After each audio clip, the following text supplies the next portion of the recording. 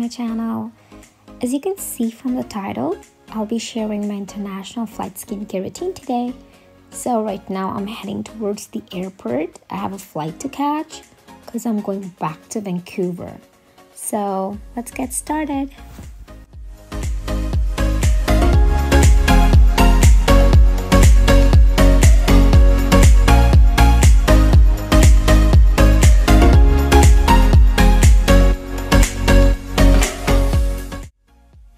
So the first thing I do immediately is to put on a pair of cozy socks because my feet are always cold on planes. After that, I settle myself and choose one or two movies to watch. As it's a long flight of 13 hours, I have to survive the night. So here it goes.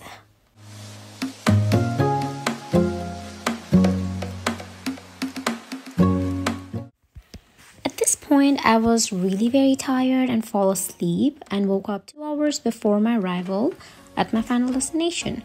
So now is the time I do my skincare routine and cherish myself. And please, guys, avoid my grumpy face because I just woke up.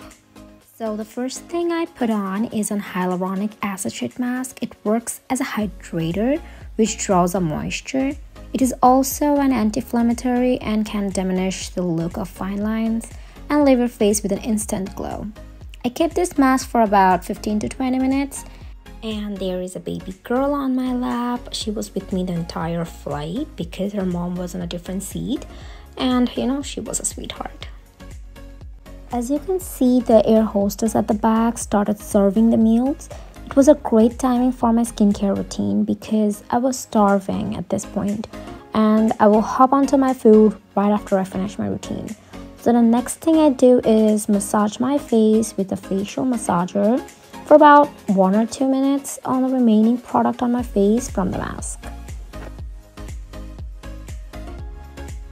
After that, I apply my first serum, which is niacinamide. The one I am using here is from The Ordinary it's a high strength vitamin and mineral blemish formula which reduces the appearance of skin blemishes and signs of congestions. And then I go for eye serum for my puffy eyes.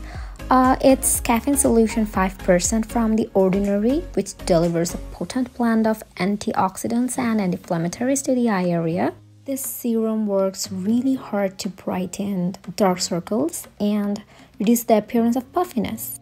The last step is moisturizer. I'm using the Ordinary Natural Moisturizing here and finishing my skincare routine with a lip balm and the lip balm is from Laneige.